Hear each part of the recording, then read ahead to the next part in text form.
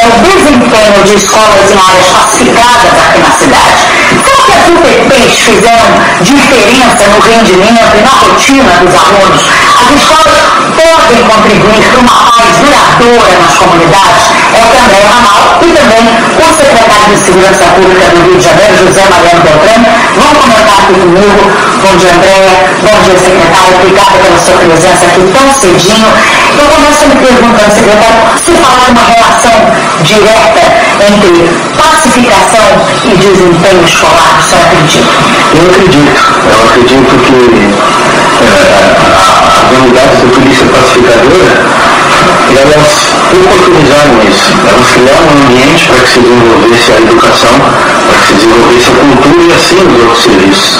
Eu acho que esta é a grande janela de oportunidades que o Rio de Janeiro tem, é exatamente através da presença da polícia abrirem-se novos horizontes para aquelas pessoas que estão lá e, de uma certa forma, é, fazer com que o Estado cumpra seu papel, com que as ONGs cumpram seu papel e entre nesse papel a educação, a cultura, a coleta de lixo e assim outras atividades que devem ser feitas e que antes tinha o discurso cínico de que não se fazia não se podia entrar naquele local. Então hoje as portas estão abertas para que esse serviço chegue.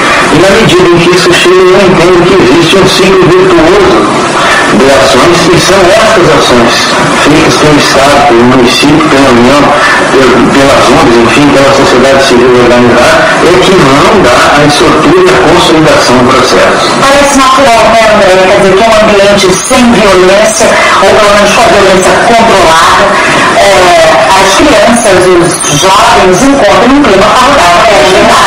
Você imagina o seguinte, é, crianças que de noite não conseguem dormir com medo de tiroteio, que são é, recrutadas para trabalhar no tráfico e que são ameaçadas se não abandonarem a escola. Professores que têm que faltar, por exemplo, no turno noturno porque têm medo de sair da escola muito tarde. Então tudo isso cria um clima dentro e fora da escola em que realmente é quase impossível um bom rendimento. Que não basta só pacificar, é o primeiro passo. Cada escola garantir qualidade de educação para aproveitar essa oportunidade realmente com boas aulas, com o clima construído dentro da comunidade e fazer realmente um rendimento positivo. Mas eu queria convidar vocês dois a minha reportagem, porque a Suzana Massolini foi visitar duas escolas em várias comunidades de polícia pacificadora e mostra pra gente as mudanças. Vamos ver.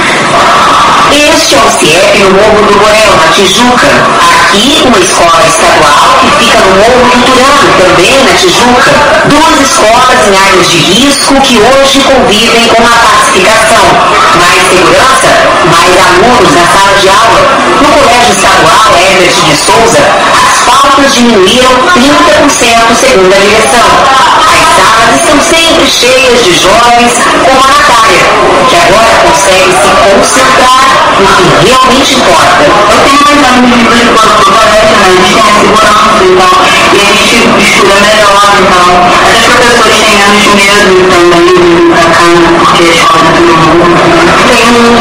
de estar aqui estudando e eu não tô preocupada com o meu professor fora quando eu sair. Ou até mesmo dentro da não tô preocupada com o que acontece lá fora. Além disso, outra coisa melhorou por aqui. Nosso prédio é muito depredado nos finais de semana. E a nossa quadra de Brasil constantemente, sempre estava porta quebrada, banheiro quebrado.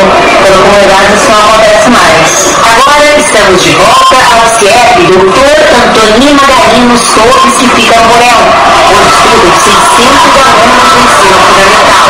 A pacificação no morro aconteceu há dois anos. Maria, mãe do Matheus, lembra bem como era antes. A gente às vezes passava a noite em casa, no período do tiroteio, na preocupação. Chegava de meu filho ficava sem querer acordar, muitas vezes dormia em sala de aula. Dizer, tinha aquela coisa de não entender, né?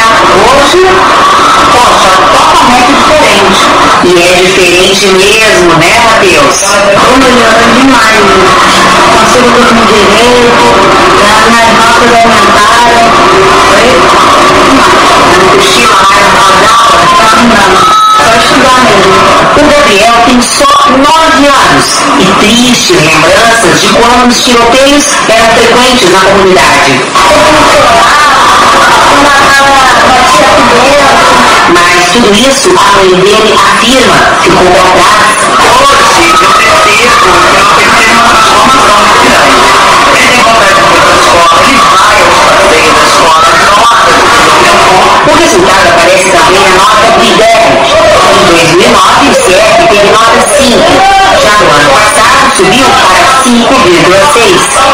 No a média das notas das escolas municipais do primeiro segmento do ensino fundamental foi de 5,4, enquanto a média nacional foi 4,7. A mudança que a gente percebe aqui na escola, é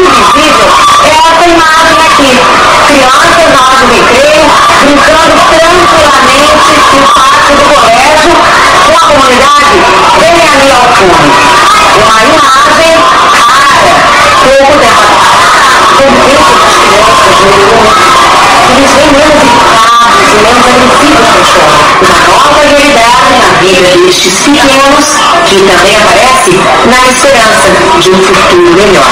Eu sou Cidinho, eu quero você de Sananá, quero ser representar, pior do marido, marinheiro. uma mulher, ter filhos, ter a casa própria, que é preciso para chegar lá? estudar, ser bom aluno e tirar notas boas. Que bacana, esse tá com a lição da boca da boca, perspectiva de vida, né? Já se sem dúvida, as crianças começam a acreditar no futuro delas mesmas. Você repara uma coisa que a gente notou na reportagem, até a professora diretora da escola falando, que diminuiu a depredação, o vandalismo dentro da escola, a, a própria violência entre os alunos, brigas entre os alunos. Já tem dados que mostrem isso, quer dizer, que a pacificação no entorno da escola que a violência dentro da escola diminua também. É, algumas coisas a gente tem. A gente tem não só a educação, mas, por exemplo, os hospitais, o hospital Getúlio Vargas diminuiu é, 38% o atendimento a. O hospital Mandaraí, 70% que pega toda aquela área do Tijuco, o número de atendimento a.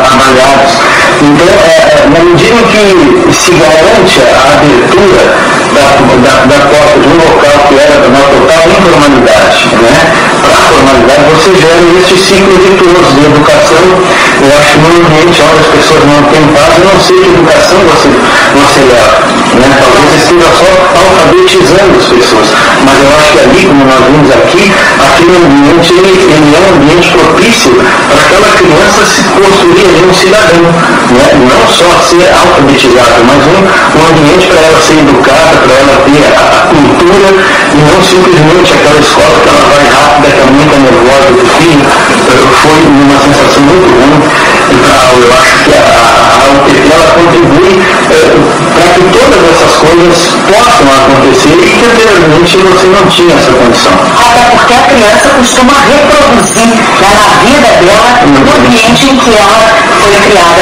Agora, André, a gente viu que as escolas, também mostradas na reportagem, eh, tiveram uma melhora no- nos índices do IDEB, né? Mas também existem escolas em áreas em que EPPs foram instaladas que tiveram uma piora no IDEB. O que isso pode apontar?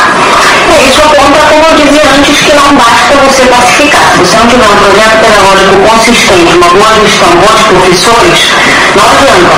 Agora, a pacificação é o primeiro passo. Agora vamos falar então dos sinais positivos. Vamos ver a evolução das matrículas nas escolas estaduais e na área de UPP depois da implantação das unidades classificadoras. Olha só como mudou.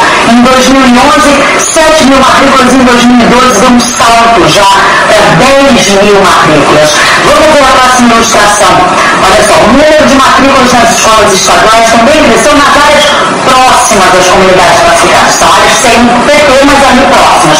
Eram 52 mil matrículas no ano passado, esse ano 62 mil. E agora a gente vê também que houve evolução nas matrículas das escolas municipais depois da implantação das UPPs. Em 2011, 77 mil, em 2012, mais de 80 mil matrículas. Secretário, quantas escolas podem contribuir para estabelecer a paz de uma forma mais duradoura está fazendo seu papel, né? que é educar, que é procurar criar perspectiva para essa juventude. É fazer o papel que, que eu tenho certeza que todo professor sabe fazer, mas que talvez antes não tinha ambiência para isso, não tinha tranquilidade para isso, não tinha tranquilidade às vezes para se deslocar até o colégio, o que dirá tranquilidade para conhecimento para essas pessoas. Assim como esses números que aumentaram, eu entendo que é a tranquilidade dos pais devolvendo seus filhos à escola.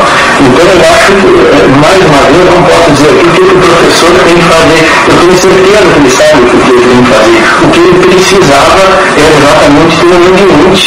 Né? O que dependia da segurança pública era dar esse ambiente para que ele pudesse fazer aquilo que ele está preparado, que para mim é transformar vidas. Né? André, é, em relação à evasão escolar, ou seja, menos alunos estão abandonando os estudos nessas áreas. Isso é um excelente sinal. É, isso é um ótimo sinal. É, tem inclusive pesquisas que mostram a relação entre evasão escolar e aumento da criminalidade no entorno. É, quer dizer, quanto mais educação você tem, menos violência em médio e longo prazo você tem também. Agora, completando o que o secretário falou, é interessante que as escolas comecem a fazer projetos de educação para a paz, educação para a resolução de conflitos, uma educação mais ligada para o psicológico e emocional que ajuda a construir uma paz mais duradoura nessas comunidades. Muito obrigada, Andréia, pela sua participação. Olha, já já que no Bom Dia eu volto a conversar com o secretário de Segurança Pública, José Mariano Beltrano. Hoje vão ser inauguradas as duas últimas UPPs dos complexos da Penha e do Alemão. E vamos chamar novamente o nosso protocolo, falar com a nossa